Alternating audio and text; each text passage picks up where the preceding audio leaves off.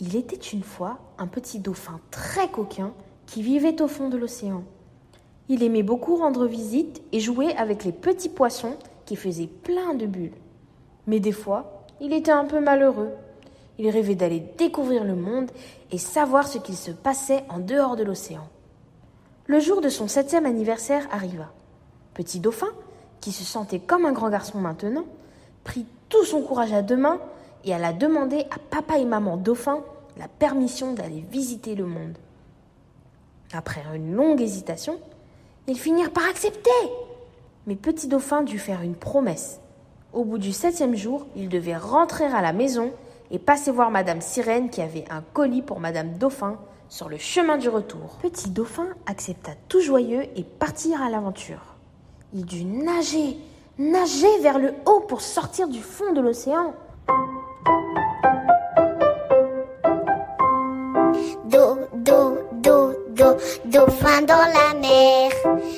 Arriva près de la terre, mais s'endormit à la lueur de la lune, épuisé d'avoir poussé si fort avec sa nageoire.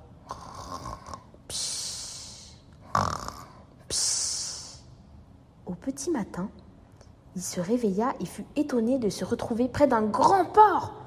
Il se rapprocha d'un des quais, lorsque tout à coup, il vit un petit réveil qui se baladait sur ce quai. Il s'écria Petit réveil Petit réveil Le réveil prit peur et se cacha derrière un bateau. Pourquoi te caches-tu, petit réveil? Et le réveil lui avoua qu'il avait un peu peur parce qu'il n'avait jamais vu de dauphin auparavant. Mais très vite, il se rendit compte que Dauphin était très gentil.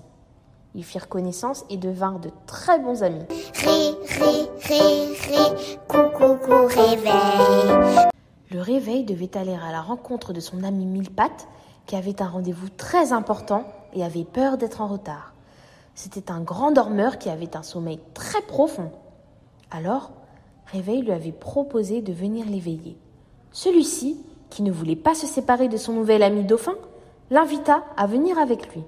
Dauphin et Réveil traversèrent un grand et long champ sous le soleil. Dauphin était essoufflé. C'était moins fatigant de nager dans l'eau. Ils trouvèrent enfin Petit Millepattes endormi dans un petit village non loin du champ. Le réveil se mit à hurler pour le réveiller.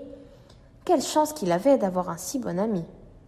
Millepattes, une fois réveillé, proposa à Dauphin et Réveil de l'accompagner en Égypte, où ils devaient se rendre pour visiter la pyramide de Khéops à 9 heures sonnantes. Mi, mi, mi, mi, mille pattes. Dauphin, Réveil et Millepattes prirent l'avion et montèrent très haut dans le ciel.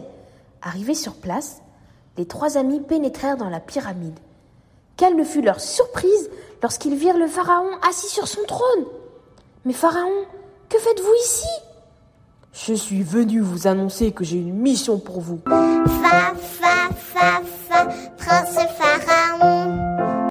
Vous devez m'accompagner déposer une lettre très importante à un soldat de la garde royale. Dauphin, Réveil, Millepattes et Pharaon prirent l'avion et montèrent à nouveau très haut dans le ciel pour partir à la rencontre du soldat. Ils étaient tout heureux. Petit Dauphin ne se souvenait même plus de sa promesse à ses parents tellement il était content. Et hop, les voilà arrivés dans la cour du palais royal, lorsque soudain, Pharaon s'écria. Là, voilà le soldat. Honoré soldat, s'écrièrent-ils tous ensemble en faisant le salut militaire. Garde à vous. Merci pour cette lettre que vous m'apportez de loin. Passez donc la nuit au sein de mon château et faisons des jeux ensemble. Ils firent donc comme ce que le soldat avait convenu. Seul, seul, seul, seul, soldat, garde à vous. Le lendemain matin, à peine Dauphin, Réveil, Millepattes, Pharaon et soldats furent réveillés que quelqu'un s'écriait dans la cour du château. La main arrive La main arrive La, la, la, la, et voici la. Il est temps pour toi de prendre le chemin du retour. Ton voyage est presque fini. Et avant de rentrer, n'oublie pas d'aller voir Madame Sirène.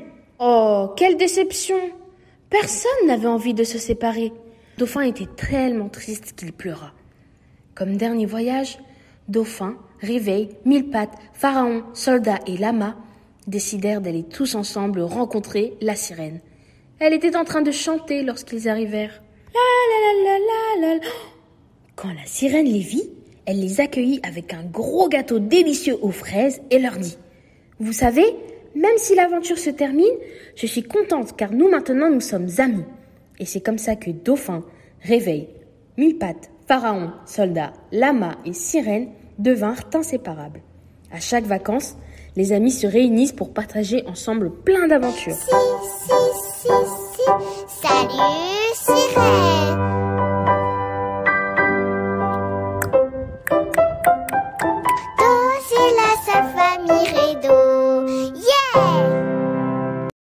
Maintenant que nous avons fini d'écouter l'histoire des notes de musique, chantons la chanson ensemble. Do, do, do, do, dans la